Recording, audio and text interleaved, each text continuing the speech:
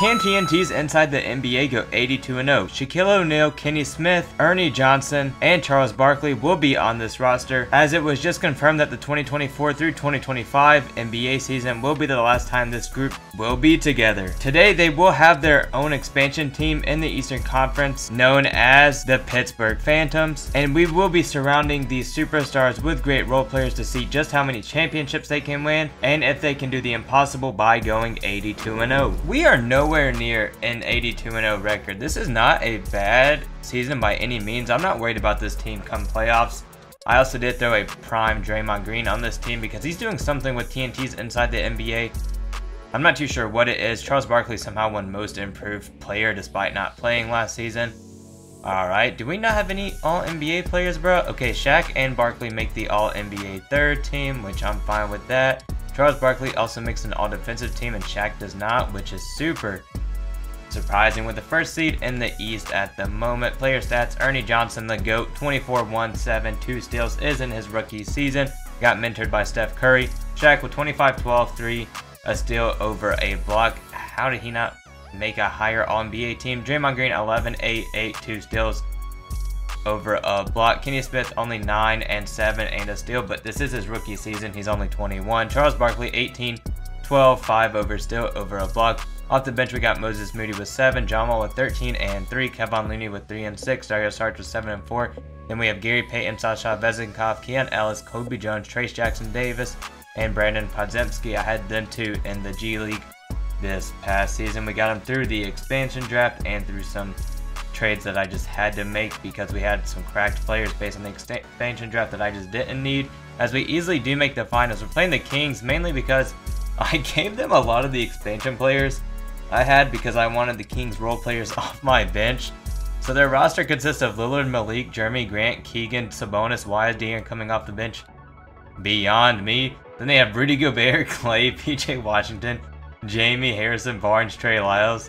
So their roster is really stacked. We honestly might lose since I did that. Might have been a huge mistake by me as we, it is tied at 2-2. We go up 3-2 and we win in 6. Charles Barkley just carrying the team. Despite 20 shooting 28% from 3, he did win finals MVP with 20 points, 14 rebounds, 5 assists, over a still over 2 blocks. Like I said, we were nowhere near the 82 games. We were 20 games away from getting the 82 games. I would like to at least win 80 one season, so there's a lot of changes I'm going to have to make to this bench, and maybe Kenny Smith just comes off the bench as a six man. Honestly, we made pretty good progression from last season. So far, we've only lost 9 games, which last season we lost 20, so that's a lot closer to the 80 win mark. It still seems so far away, though. I mean, I've tried to do this for the past, like, two or three videos now, and it's been difficult. I can't even lie. I might, I don't know what to do. We won 72 games, which is fantastic. Alexandre Sarr did win Rookie of the Year. Kevin Porter Jr. back in the league won Six Man of the Year.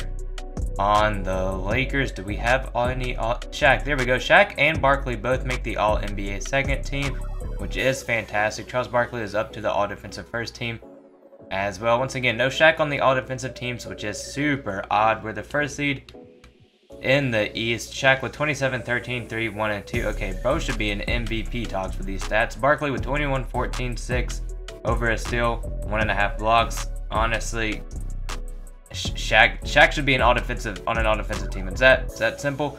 Draymond with 11, 7, 8 over a steal and a block. Ernie Johnson with 21, 7 assists, and uh, still, Nikola Topic took him in the draft, averaged 10, 6, and a steal as our starting shooting guard.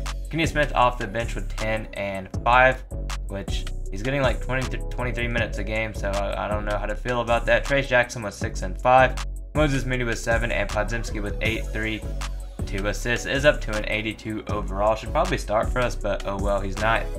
We are playing the Bucks in the second round so far. We haven't lost as we're playing the second seeded Pistons who have K, Jaden, Okay, they added LeBron, which is huge. They also added Jrue Holiday, Kelly Oubre.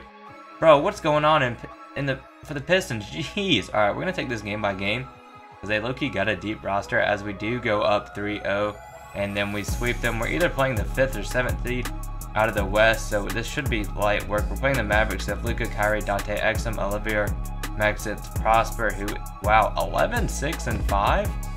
That is not bad. Shooting really well from the field and from three. They also have Dereck Lively, Daniel Gafford, Jaden Hardy, and Josh Green. I'm not worried about this team as we do win in five. And Shaq wins, oh my gosh, finals MVP, averaging 33, only nine rebounds, three assists, a steal, over two blocks, shooting 69% from the field.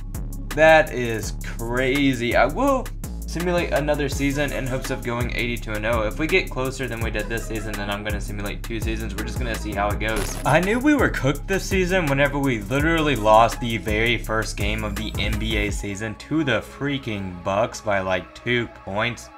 Also, the league rule got passed where games are a lot shorter now. And Luka is still averaging 25, 7, and 7. That is actually so insane.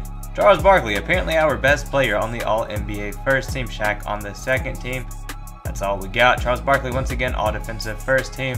Still no Shaq on an all-defensive team, which might be the most surprising thing about this video.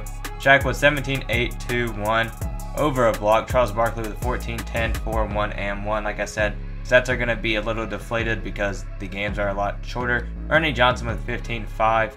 Draymond with 6, 5 five, a steal, a little over half a block. Nikola Topic was seven and five.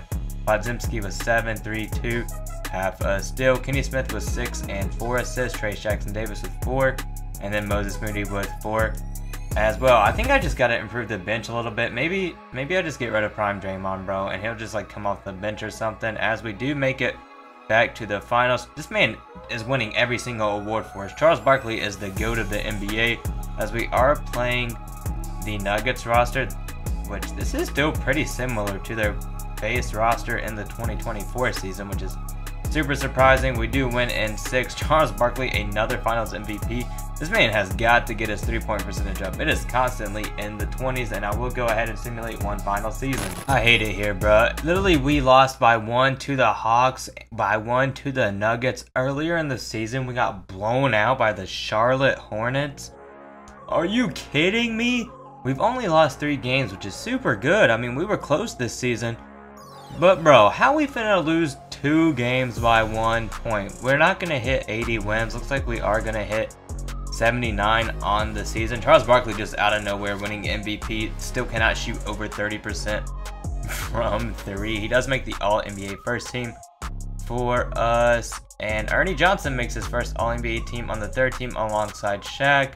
Charles Barkley once again all defensive first team and no Shaq. I don't know how he has not made an all-defensive team. It is what it is. Ernie Johnson was 16, 1, 6, and a steal. We had a Tyrese Maxey who had a, who averaged 14 and 3. Shaq with 13, 8, 3 assists. Half a steal over a block. Barkley with 13, 8, 5, 1, and 1. Sabonis also added him 9, 6, 5.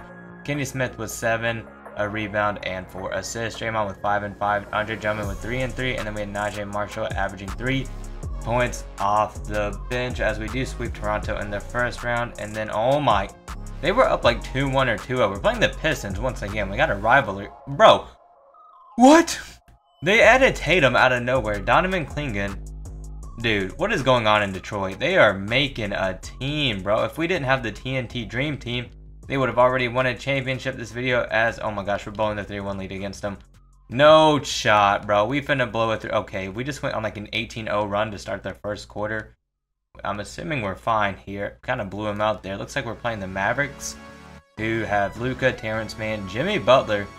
Who Who is this? I don't know who that is. Dereck Lively, Khris Middleton off the bench with Marcus Smart and Josh Green. So they don't have Kyrie anymore, which is fine. We win in four. Charles Barkley, another Finals MVP. 17 6, 5, and a steal. Does not matter. Bro finally shot over 30% from 3. And we did not go 82 and 0. The closest we got was 79 and 3. If you guys enjoyed, leave a like, subscribe, comment, and I will catch you all with the next video.